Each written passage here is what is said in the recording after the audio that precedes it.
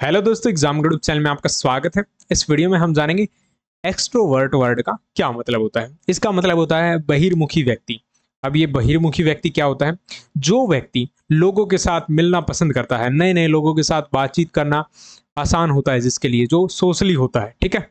जो शर्माता नहीं है, ठीक है? उसको हम क्या बोलते हैं? एक्सट्रोवर्ट बोलते हैं। यहाँ पर जो वर्ट वर्ग है वर्ड है, इसका मतलब होता है की ओर की ओर। इंट्रो जो वर्ड होता है, उसका मतलब होता है अंदर की ओर, यानी जो शरमाने वाला व्यक्ति होता है, साई व्यक्ति होता है, ठीक है? लोगों से बातचीत करना उसको पसंद नहीं होता है।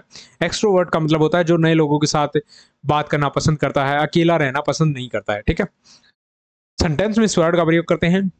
As an extrovert he love meet new people एक एक्सट्रोवर्ट होने के नाते वह नए लोगों को मिलना पसंद करता है। वीडियो साइंस से लाइक करें शेयर करें, ऐसे वीडियोस रोज देखने चैनल को सब्सक्राइब करें। Thanks for watching